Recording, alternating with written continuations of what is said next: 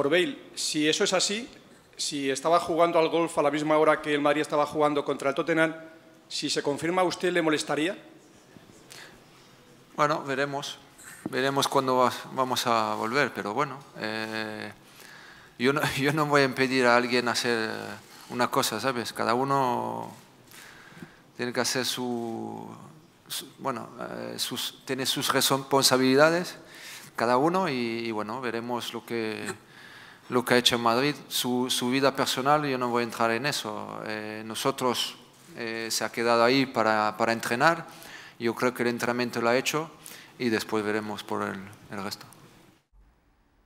So Bale back at training today. Big deal?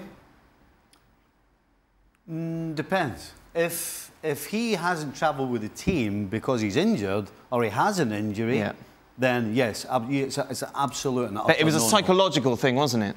I think that's why he said he didn't travel. That was the word that came out of the club that he wasn't well, in the then right if, minute. then if playing golf psychologically helps Gareth Bale, then it helps the club as well. So I don't have a problem with it. No. The only reason is if he has a, any sort of injury at all, it's a complete no-no. Otherwise, whose business is it but Gareth Bale's? anything Gareth Bale does now is, is going to be news, or, or doesn't do, as, as, as the case may be. As long as he's in Madrid, in agreement with the club, and they know that, and um, and the circumstances, as, as Stevie points out, isn't that he's injured or he can't do certain things. Um, and what he does with his, with his private time is up to him. Jules, as someone who knows Zidane well, how do you think he is feeling internally about having to continuously answer questions about Gareth Bale?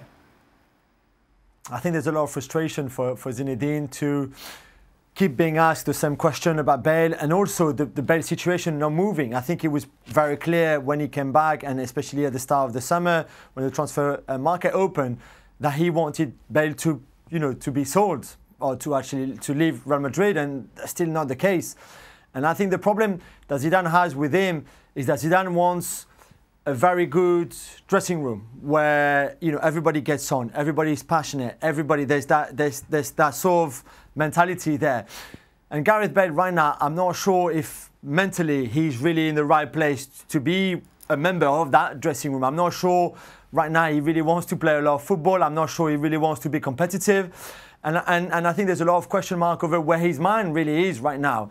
And and I think that's the problem. And the fact that Zidane and Bale don't talk, I think that the fact that Zidane and Jonathan Barnett, uh, Bale's agent, don't talk either, is also an issue. The, the Chinese transfer market closed uh, yesterday mm. or the day before yesterday, which is a problem. The one in England closes in, in a week time, and it's really hard to see now where Bale is going to go.